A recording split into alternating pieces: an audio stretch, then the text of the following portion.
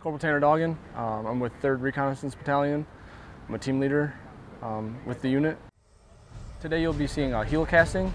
It's an insertion capability that we use um, quite often off of ships and we'll uh, do a cycle in the air, uh, push off boats and then get on the boats. It's important to train with other nations to get the, um, the trust, uh, learn from each other, uh, and just get uh, good relationships building.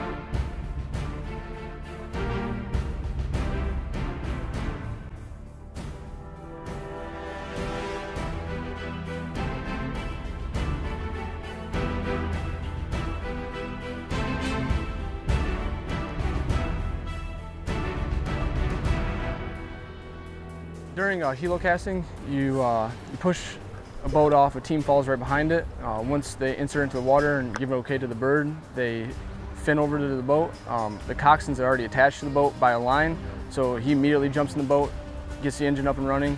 By that time, everybody else should be close to the boat. They hop in the boat and get into operation. Helo casting is for an insertion capability. It's if you want to be clandestine or you can't get um, inserted in actual land, you will be inserted via a bird, a helicopter. A few clicks off shoreline by the boat, the team will insert in the boat and then clandestinely insert into whatever their objective area is.